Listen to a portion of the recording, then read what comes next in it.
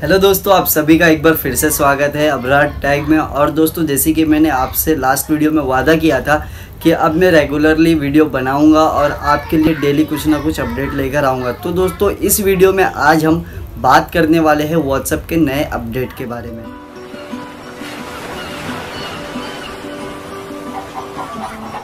तो दोस्तों, बात करेंगे वो कौन सी पॉलिसी आई है नई वाली जो आपको एग्री करना बहुत ज़्यादा इंपॉर्टेंट है। अगर आप एग्री नहीं करते हो तो आपका व्हाट्सअप हो सकता है डिलीट तो दोस्तों, इसके लिए बहुत सारे वीडियो बन चुके हैं। तो मैं एक लिंक दूँगा, इस वीडियो को आप देख लीजिए। इस वीडियो में पूरा डिटेल में बताया हुआ है कि क्या व्हाट्सअप का नया अपडेट है और क्या पॉलिसी फिर भी मैं ऊपर ऊपर हल्का बताने वाला हूँ।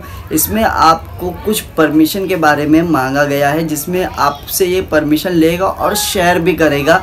इसी के बारे में ये नया अपडेट आया हुआ है और मुझे इस अपडेट का सबसे बेकार चीज़ लगा है कि ये अपडेट पूरे वर्ल्ड के लिए नहीं, सिर्फ़ एशिया मेरे ख्याल से और इंडिया के लिए है, ताकि उनको भी पता है, इंडिया में व्हाट्सअप यूज़र्स ज़्यादा है और उसको प्रॉफिट यानी कि व्हाट्सअप वाले को मेरे ख्याल से अर्निंग वगैरह नहीं हो रहा है। इसी वजह से इसने ये पॉलिसी निकाला है ताकि वो डेटा को शेयर करे और पैसा कमा पाए। अब भले जो भी इसका रीज़न हो बट जो भी पॉलिसी है, अगर आप ला रहे हो तो सारे दुनिया के लिए लाइए, यूरोप के लिए अलग है, इंडिया के लिए अलग है तो ये गलत बात है। इसी वजह से मैं को पर्सनली मुझे बहुत ज़्यादा बेकार लगा है। मैं भी इंडियन हूँ, आप भी इंडियन हो तो आप चाहते हो कि आपका डेटा सेफ़ रहे, सुरक्षित रहे, आपका कोई भी इंफॉर्मेशन कहीं लीक ना हो।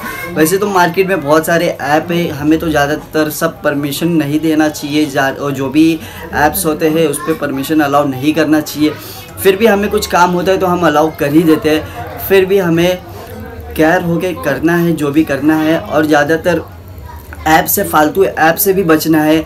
और उसके बाद और दोस्तों, जैसे कि बहुत सारे एप्लीकेशन मार्केट में है तो दोस्तों, क्या आपने को व्हाट्सअप यूज़ करना है या नहीं करना है? तो दोस्तों बेसिक सा आंसर है।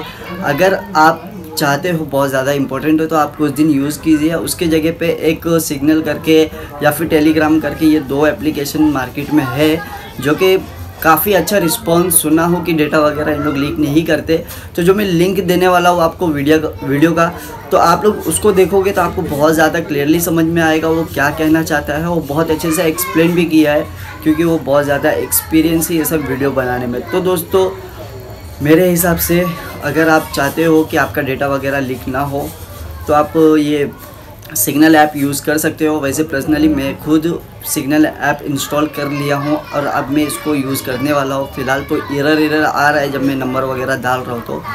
इंशाल्लाह कल परसों तक वो भी चालू हो जाएगा। तो दोस्तों तो दोस्तों कमेंट करके बताइए आप व्हाट्सअप यूज़ करने वाले हो या फिर डिलीट करने वाले हो। अगर डिलीट करने वाले तो भी कमेंट कीजिए, नहीं करने वाले हो तो भी कमेंट कीजिए। तो दोस्तों थैंक यू मेरा वीडियो देखने के लिए। आई होप आपको ये वीडियो अच्छा लगा होगा। अच्छा लगा है तो प्लीज़ लाइक कीजिए।